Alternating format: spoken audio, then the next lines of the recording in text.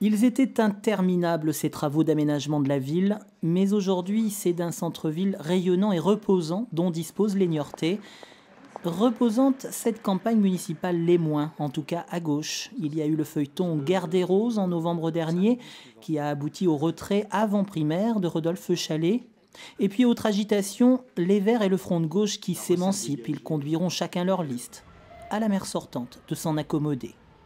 On ne peut que constater euh, l'amplification et la, poursuite euh, des politiques euh, menées par Nicolas Sarkozy sous François Hollande.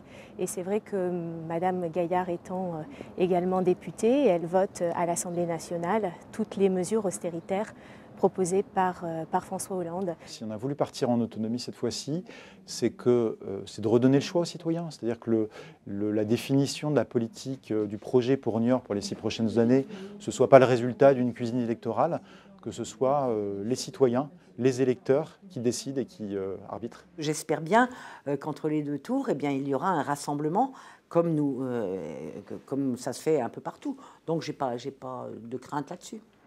De la bouche même des administrés, Niort est une ville où l'on circule mal, où l'on rencontre des difficultés pour se garer, des thèmes devenus des enjeux de cette campagne.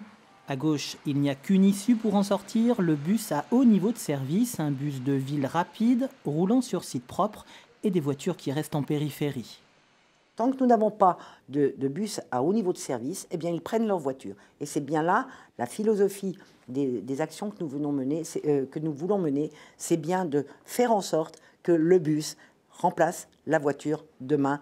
Pour une partie, évidemment, on ne va pas enlever toutes les voitures de la ville, c'est évident.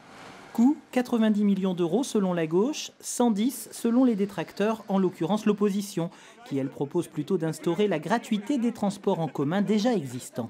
Ce n'est pas possible partout, mais à Niort, ça l'est parce que les recettes commerciales sont inférieures à 10%. Donc un ticket de bus, euh, en fait, ça rapporte que 10% des coûts d'exploitation.